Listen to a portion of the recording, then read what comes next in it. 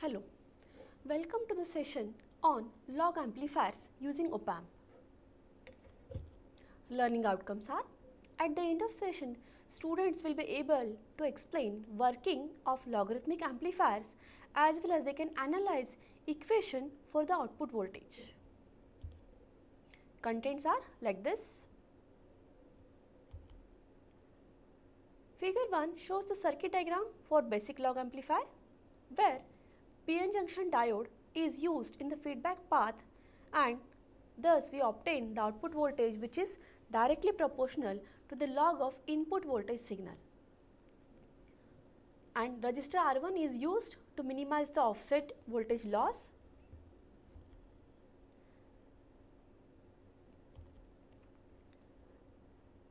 When we assume op amp as ideal then we can apply the concept of virtual ground means when non-inverting voltage is grounded then voltage at inverting terminal will also be treated as grounded. Because output voltage is equal to gain times the difference between input voltage signal and when we assume the gain is very very large then we assume here gain that is VID equal to 0 and when we assume that we get the inverting terminal voltage equal to 0 and therefore we can say here current flowing through resistor R1 is equal to the current flowing through diode that is IF because as you know the resistance at the input terminals of op amp is infinite or very very large. Therefore I1 is equal to IF. So, we can write the equation for I1 with respect to the input voltage terminal. So, that is V in divided by R1 and here another end of the circuit that is V out is nothing but voltage across this diode, PN junction diode. So, it is connected in the reverse fashion with respect to the output terminal therefore, V out equal to minus Vf. So, we can analyze the output voltage equation by observing the current flowing through the diode. So, current flowing through diode can be written with the diode equation that is If equal to I0 times exponential of Vf by eta Vt minus 1 where I0 is the leakage current, Vf is the forward or reverse voltage across this diode, eta is the ideality factor which generally depends on the type of material used that is silicon or germanium and Vt is the temperature equivalent voltage that is K into T where T is in degree Kelvin that is temperature in degree Kelvin. So, which approximately comes equal to 26 millivolt. So, here we will put this value in the equation of IF and so we can get the ratio of IF by I0 nothing but I1 by I0 which is in terms of this voltage that is V by R1. So, see here the next step. So, we can say IF by I0 that is your leakage current equal to exponential of Vf by eta Vt minus 1 and as you know 1 is very small as compared to the exponential of this value. Therefore, we will get here or we will just neglect the value 1 over here and then taking natural log on both sides. So, when we take natural log on both sides, we will get the equation which is in terms of Vf by eta Vt times this log. So, Vf is nothing but eta Vt times log to the base e If by I0. But we know here If is equal to I1 that is equal to V in by R1.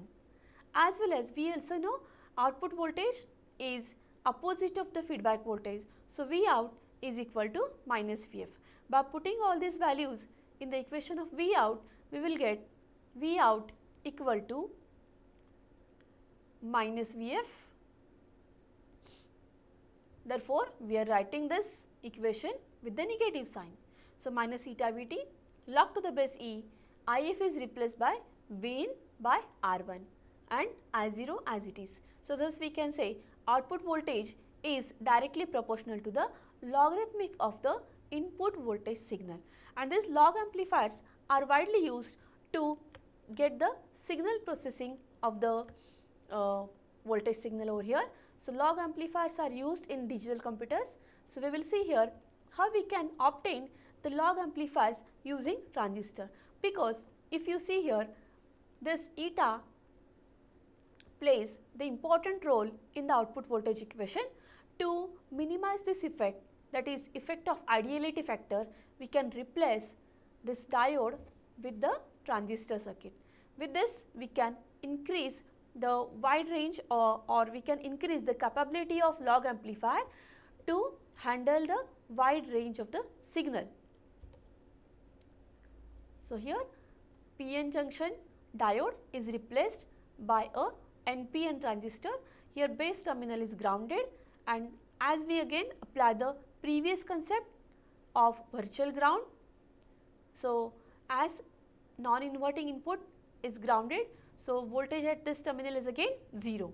So, I1 is equal to IC that is current flowing through the collector and same will flow through the emitter because here base is grounded. So, we can analyze that with the help of again equation of IC and as we know here it acts as a PN junction diode. So, same equation we can apply to obtain the relation between V out and the input voltage. So, as base is grounded IC is approximately equal to IE and this IC can be written in terms of current that is leakage current that is I0 into exponential of Vf by eta Vt. So, here also we will get the log on both sides. So, log of IC upon I equal to Vf by eta Vt and here we will get the V out is minus Vf nothing but minus Vb voltage between emitter and base terminals and IC is V in by R1. So, here we will get the output voltage equation which is directly proportional to the log of input voltage signal. We can also obtain the output voltage which is directly proportional to the exponential of the signal and these circuits are called as anti-log amplifiers. Just by replacing the position of resistor and the diode we can obtain that circuit. So, here input is applied to the PN junction diode and we can find the equation of IF and how can we obtain V0 in terms of exponential of VE. So, here as V in equal to minus Vf, why it is so? Because see here this is the direction of V in and you are taking the voltage across this diode. So, it can be the minus Vf over here that is voltage across the diode and If equal to I0 times the exponential of V in that is signal applied to the diode divided by eta Vt. So, it can be calculated like this I is nothing but now minus V0 upon Rf current flowing through the feedback resistor. So, it will be minus V0 by Rf as I and If both are of same value. So, we can equate the equations like this minus V0 Rf minus V0 upon Rf equal to I0 into exponential of V in by we can get here output voltage which is minus I0 Rf times the exponential of input signal. Thus, we can say here exponential of the signal can be obtained just by adding the diode at the input circuit and in the feedback path connecting the resistor. So, here if the input signal is negative, here we have written the V in equal to minus Vf because input signal is positive over here, but to process the negative input voltage and to obtain the exponential of that, what should be the arrangement? Yes, the arrangement should be just reversing the position of diode that is minus side here and plus side. So, again now you think Can we replace diode in this anti-log circuits? Yes, we can do that. And now draw the circuit for anti-log amplifier if input signal is negative. So, keep in mind you have to draw the anti-log amplifier circuit for the negative input with the help of transistor. So, pause the video and draw the circuit. Yes, the answer is you have to use NPN transistor over here and in such a way that this emitter is connected to input of the signal. That is NPN negative side is connected to V in over here. And in this way we can obtain the anti-log amplifier using transistor. Very important thing that is applications of log amplifier. It can be used in the multiplication division to find the powers of the equation or powers of the root to calculate the true RMS conversion. So, all this processing of signals we can do with the help of log amplifiers and very important it will give you the value in decibels as we will get the log of the signal we can represent in the decimal and as well as we can have the signal compression of dynamic range of signal with the help of this log amplifiers. Log amplifiers are essential part of analog computers and with this we can get the simplification of equations just by having a simple click. So, log amplifier plays very important role in the digital and analog circuits both.